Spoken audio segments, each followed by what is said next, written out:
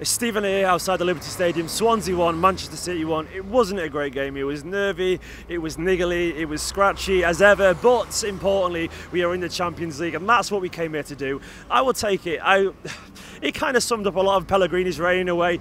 Always a little bit tentative and maybe not necessarily um, full of attacking, free-flowing football he wants to be remembered by. But he got us there and he got the job done. I want to speak about Pellegrini for a second because it was his last ever game uh, managing Manchester City Football Club, and he's always been a man of grace and style and class. And I wanted to say thank you basically to him. I've not always agreed with his decisions and his um, his ideas of how to set us up at times. I think maybe there's been mistakes, but I think history will be kind to him when we look back at it. It's easy in the moment to be quite emotional with these things, but he's a man who's delivered um, another trophy this season, another trip to Wembley, and we were in the top four, so we've not really lost anything. Maybe it's been a bit of a kind of stalling season, but we are a club in transition in terms of there's a lot of older players, a lot of deadwood, and the man who's coming in next, and he's some man, Guardiola, it'll be his job to try and ring the changes there and freshen things up.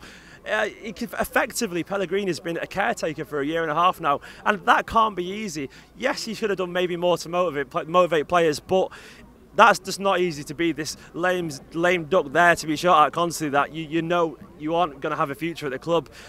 But as ever, he's been classy, he's been graceful, he's been elegant, and he's been our manager. And for that reason alone, it's been a lot of highs in these three years. So I just say thank you to him for that.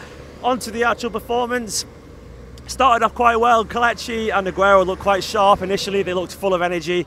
Yet it kind of started to uh, meander into nothingness. And when we got hit by the goal uh, before half time, we kind of set up the game to be quite scrappy at the end. We knew that was way it was going to go because that's what we do as a club. We always take the hard route because that's the City way, isn't it? But yeah, that's the end of the season. And um, it was a season that would, probably won't be remembered by most, but I'm fine with that. At least it wasn't awful. Um, and uh, we'll, we'll go. We'll, we'll go again next season. It'll be a whole new start. We'll have a great manager. We'll be in the Champions League. We won't be going to Liechtenstein or Malmo or Belarus or all those far-flung places that most of us have never even heard of, which is good. United will, which, which I quite enjoy that. I'll be honest. But yeah, new faces, new squad, new manager next season. I'm already looking forward to it. It's going to be great. Anyway, what did you reckon, Blues, to that? Let us know in the comments.